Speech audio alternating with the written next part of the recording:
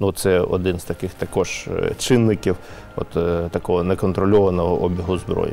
Ворог е, використовує можливості свої в тилу. Тобто є і диверсійні загрози, і розвідувальна робота. Жоден з них не залишився непокараним. Тобто зв'язок з тимчасово окупованими територіями нині є, вдається трохи фіксувати так злочини і фіксувати Звісно, звернення. звісно, ранок з цього починається, день тим, тим закінчується. Це евакуація дітей з прифронтових е, громад. Пане Артеме, я вас вітаю в нашій студії. Вітаю. Вже минув майже рік повномасштабної війни, вже навіть трохи більше року від початку вторгнення Росії на територію України. Як змінився рівень злочинності на території нашої області? Якщо проаналізувати, ну, мабуть, е, трудно порівнювати, тому що більша частина, на жаль, е, поки що в окупації знаходиться. Але якщо брати безпосередньо місто Запоріжжя, то ми бачимо, що завдяки превентивним заходам, які проводить поліція, це і патрулювання міста. Ви бачите збільшену кількість нарядів е, щодня на наших вулицях, це і система блокпостів. То на сьогоднішній день майже в два рази. Ну, окремі від майнових злочинів, вони знизилися. Я е, маю на увазі за квартирні крадіжки, е, крадіжки загалом. Ну і якщо брати такі е, вуличні злочини, наприклад, розбійних нападів в цьому році у нас на території міста не скоєно. Пограбувань скоєно. Я не хочу вдаватись в багато цифр, але ну, щоб було зрозуміло, то в чотири рази менше, ніж в минулому році за два місяці. Тому можна відмітити, що е, саме рівень злочинності він значно знизився, е, окрім, е, е, окрім, е, наприклад, шахрайств. На, на жаль, е, під час війни чомусь е, е, таких осіб, які на цьому е, наживаються, їх е, побільшало. І ну, тут, по-перше, ми е, всі е, такі факти е, реєструємо, і за цим дуже жорсткий контроль для того, щоб е, ми могли е, на це адекватно реагувати, розслідувати і надавати допомогу громадянам. Е, Крім цього, В зв'язку з чим побільшала кількість таких злочинів, це те, що на території міста Запоріжжя переїхали з окупованих територій дуже багато громадян.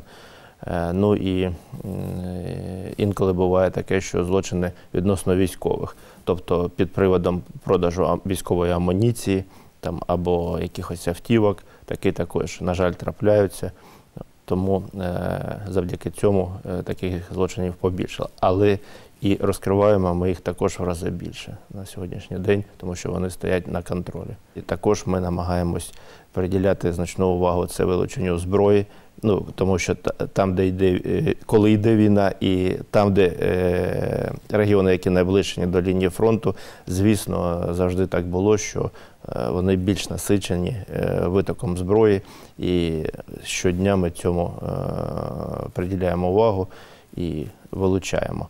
Також, е, користуючись нагодою, е, я хочу звернутися також до мешканців міста, до наших громадян, що якщо є е, зброя, яка не облікована, яка не потрібна, то я наполягаю на тому, що її потрібно здати.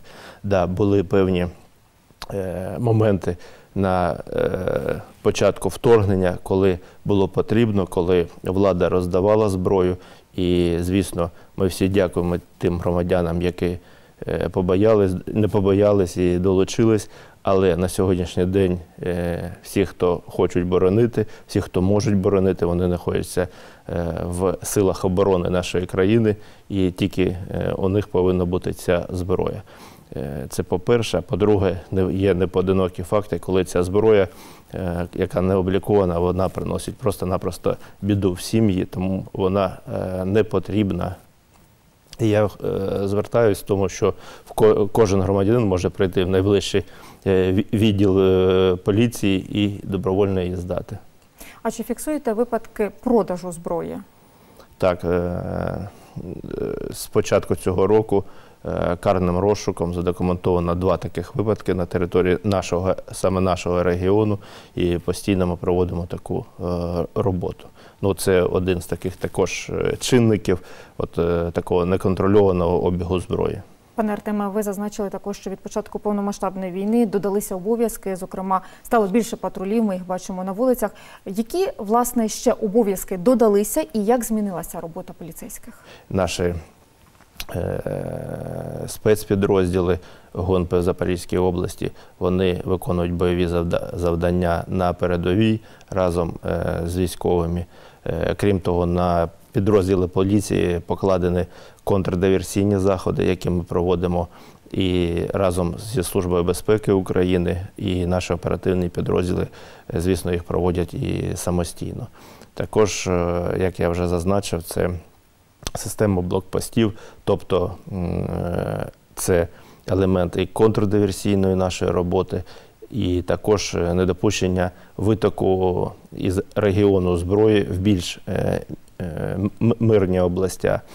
Е, Це недопущення трафіку наркотичних засобів як на територію регіону. Ось такі перевірки, зокрема на блокпостах під час повномасштабної війни, вони необхідні в першу чергу для забезпечення безпеки. Звісно, звісно, ми ж розуміємо, і е, під час будь-якої війни, крім е, війни на передовій на фронті, е, ворог використовує можливості свої в тилу. Тобто є і диверсійні загрози, і розвідувальна робота. Всі ми бачимо і відчуваємо на собі, коли прильот, прильоти да, ракет, то тому попередує якась агентурна робота ворога. І це попередження і недопущення цьому е, є саме робота поліції. Ну і крім е, того, що вже зазначив, це безпосереднє документування злочинів як е, країни-агресора під час обстрілів. Тобто ну, наші слідчі щодня в Оріховому, Гуляйполі, Степногірську, скажімо так, ранок починається з огляду місць обстрілів, документування. Е, Ну і після цього ці кримінальні провадження вже передаються до Служби безпеки України. Е, Також це виявлення документування колаборантів разом зі Службою безпеки. е, Збираємо Е, наш принцип такий, е, що е, жод, жодний персонаж і жодний їх вчинок не повинні е, залишитись необлікованими. Е, По-перше, це збір доказів, по-друге, це повідомлення про підозру, ну і заочне засудження. Або вже, якщо є можливість, фактичне затримання таких е, зрадників. Тому що я завжди кажу, що е, ворог і е, військові окупанта це одна складова, коли їх примусили і направили воювати. А зовсім інша складова це зрадники. Це ще більш е, е, опасно, і це е, те, на що ми повинні, ну як поліція, бути заточені. Це саме, щоб жоден з них не залишився непокараним.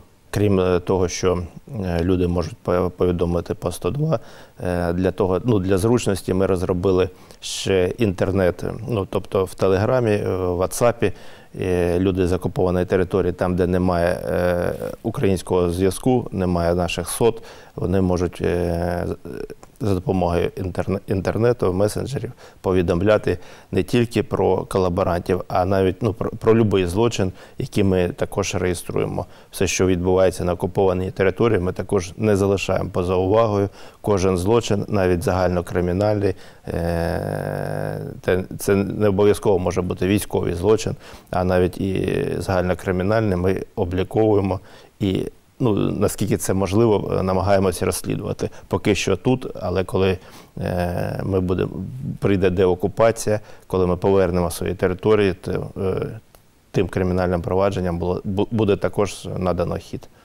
Тобто, зв'язок з тимчасово окупованими територіями нині є, вдається трохи фіксувати так злочини і фіксувати Звісно, звернення. звісно, родичі повідом, повідомляють і про викрадення людей, е, коли їх затримують окупаційна влада, і про вбивства, які там відбуваються.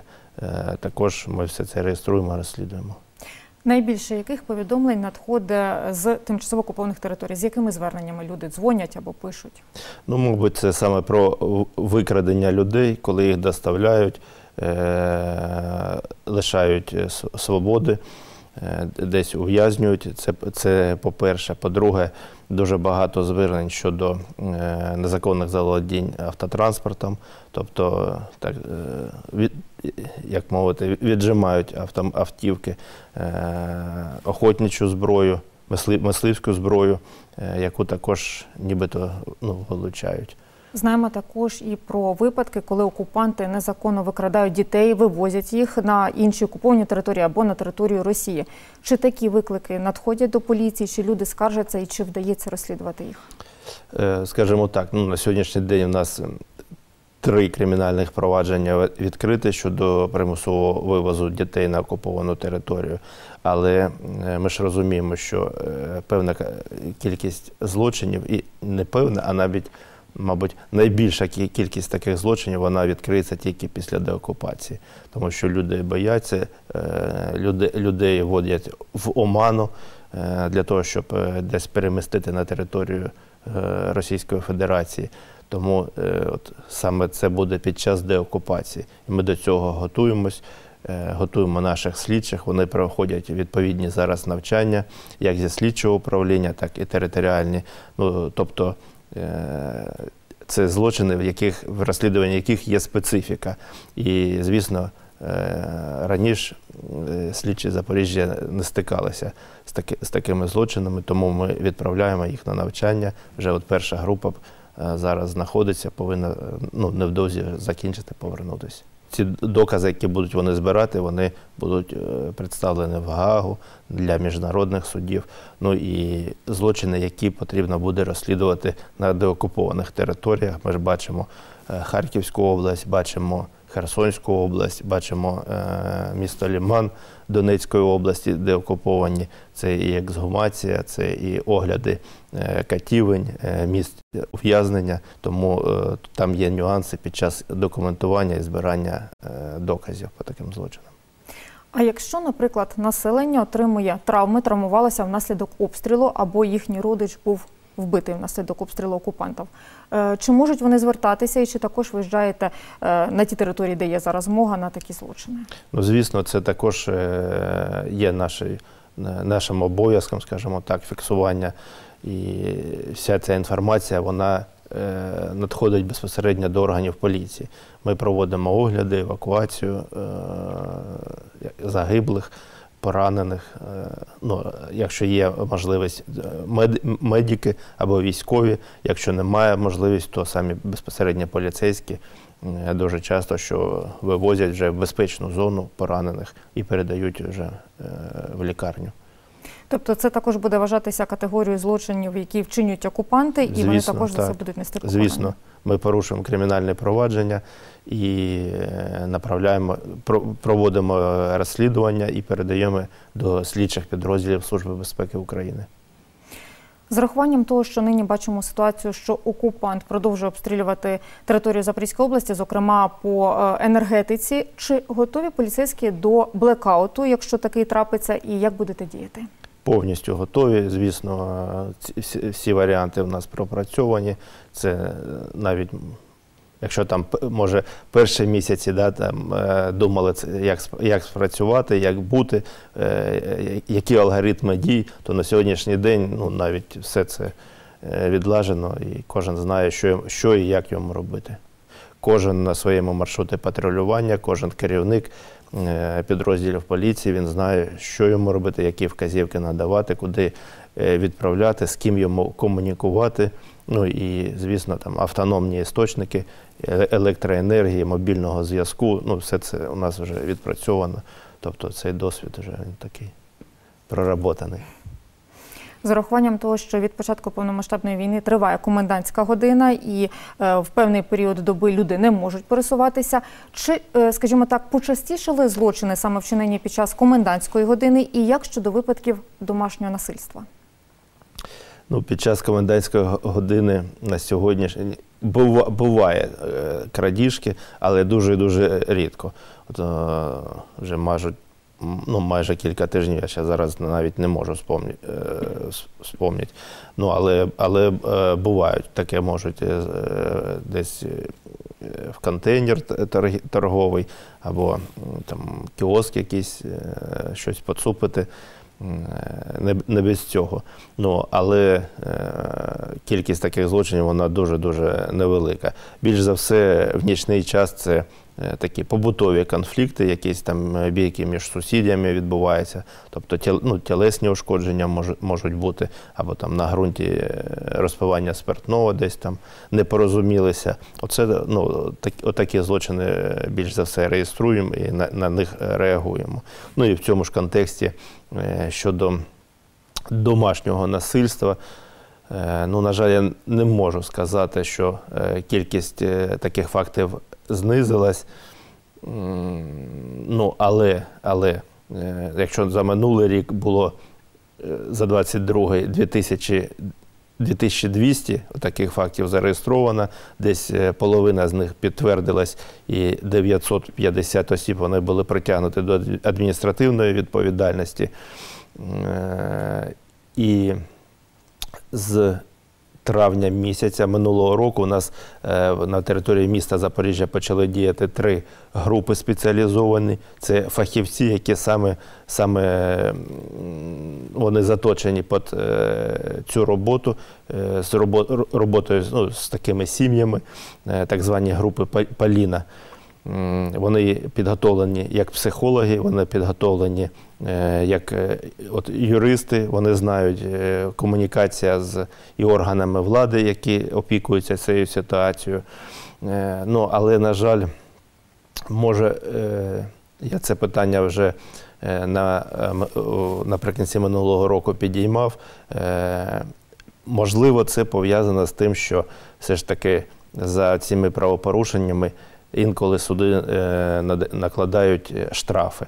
Е, Я все ж таки наполягаю, і ми пропрацьовували в судах це питання, щоб давали адміністративний арешт.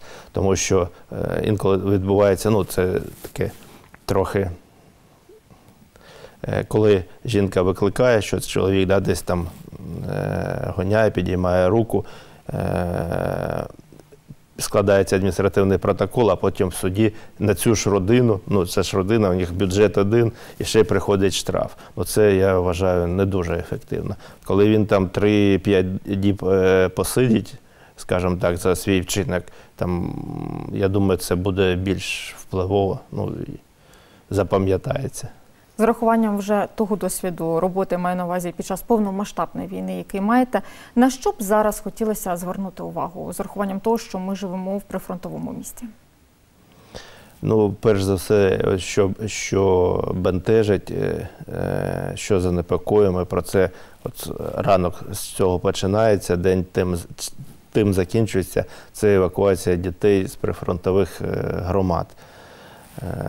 На сьогоднішній день у нас е, близько 950 сімей, які е, Степногірська, е, Оріхівська, Гуляйпольські громади. Е, і в як 950 сімей, родин яких мешкають близько 1500 е, дітей.